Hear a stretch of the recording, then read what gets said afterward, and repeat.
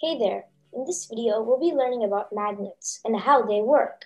If you don't know what a magnet is, it is an object that sticks to iron or steel. To understand how a magnet works, I will show you a demonstration. These are two magnets. The black side is the south pole, and the blue side is the north pole. Every magnet has two poles.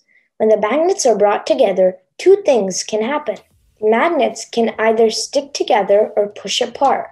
When they push apart, we say that the magnets repel. When they stick together, we say that they attract. But why do these two things happen? Here is a simple rule about magnets you must remember. North and north repel. South and south repel. North and south attract. South and north attract. In other words, like poles repel and opposite poles attract. This is how magnets work. But why does it work this way? The answer is magnetism. Magnetism is a force. A force is either a push or a pull. You can feel the magnetic force when you pull two attracting magnets apart and push two repelling magnets together.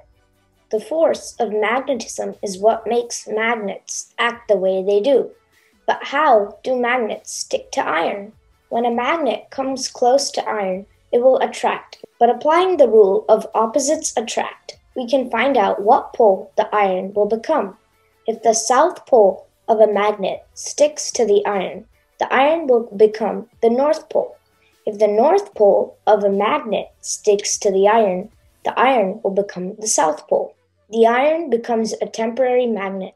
The magnetism in the iron is called induced magnetism. But what will happen if you cut a magnet in half?